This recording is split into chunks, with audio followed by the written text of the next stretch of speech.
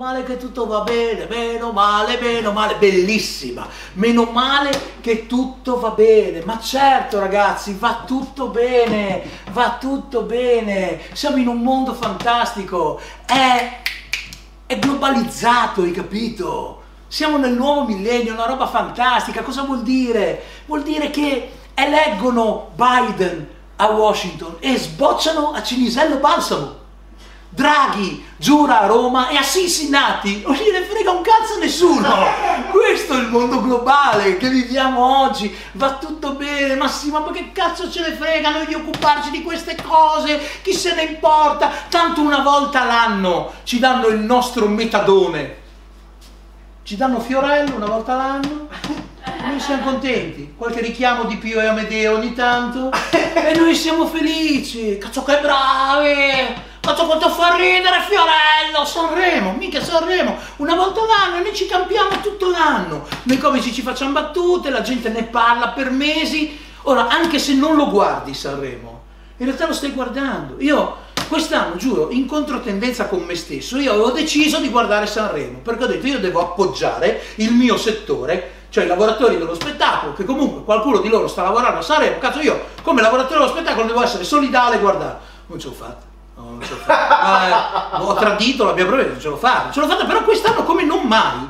Io avevo gente che mi chiedeva se guardassi Sanremo, cioè se avessi visto Sanremo, ma non la settimana dopo, finito, no? L'hai visto Sanremo? No, il giorno dopo, mi chiedevano giorno per giorno, mercoledì mattina, l'hai visto ieri sera Sanremo? No, no, non ho visto.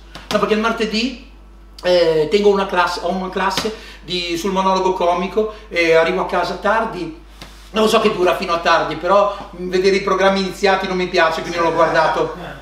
ma mercoledì l'avrei visto, mercoledì, oh no mercoledì, a parte stasera che comunque lo sto registrando, ci ho ritirato fuori il videoregistratore, perché il mercoledì per me è sacro, perché eh, mercoledì su Top Crime c'è Law and Order Special Victims Unit, per brevità Law and Order SV, io sono un grande appassionato di Law and Order SV, non me ne perdo una puntata, mi piace tantissimo, mi piace la disinvoltura con la quale viene usata la parola sperma. Quella, cioè, è, è, fantastico, sembra di stare a Palazzo Grazioli con la lampada di Wood, cioè, cioè sperma ovunque, una cosa meravigliosa, eh, eh, con una nonchalance bellissima, ci sono questi assassini che prima, cazzo, vengono ovunque, nella stanza trovano lo sperma, c'è un po' di sperma sul soffitto, ma che cazzo ha fatto? Comunque, bellissimo, mi piace moltissimo lo Ernest quindi mercoledì non l'ho guardato, non mi rompete il cazzo, eh, giovedì, giovedì eh, avevo un appuntamento precedente, con chi? Con, con me, mi ero dato un appuntamento e non me la sono sentita di tirarmi il parco perché poi ci rimango male, mi tengo i musi, è una brutta situazione. Se la dici veloce, ci credo. Beh, ma cazzo, venerdì l'avrai visto. Ma venerdì, guarda, venerdì proprio non posso perché venerdì io ho la riunione dei giocatori anonimi. Peraltro ci tengo a sottolineare che per noi Sanremo ha tutto un altro significato, quindi...